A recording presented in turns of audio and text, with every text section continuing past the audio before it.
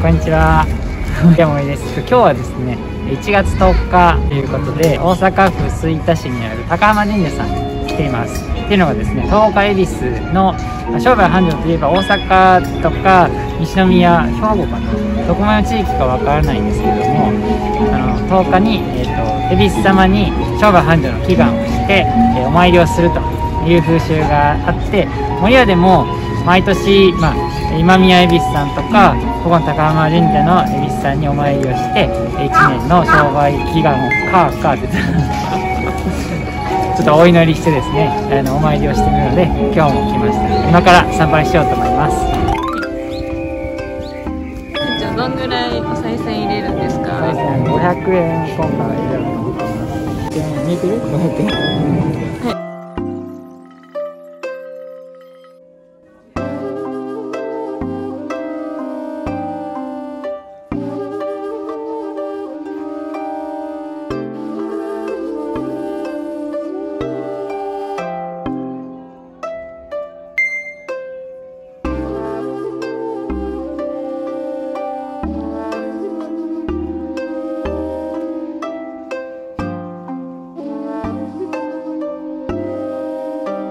とあのお肉に使おうかはい。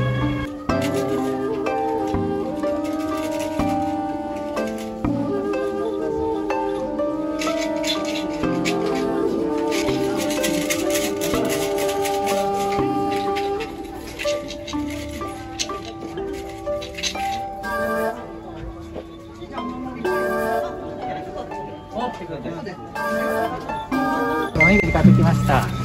これまだ見てないね、はい、ちょっと先に安田さん安田さんがさっき言ってなかったいつもいつも大吉って言って大吉ちょっと先に見てください半吉や半吉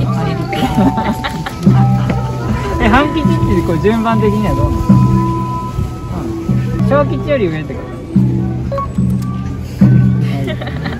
実は俺あれ開きますはい吉かなあ吉やな。吉ですあ悪くないんだ。飽きないは売り買いともによし。いいね。争い事勝つべし相手をいたわれ。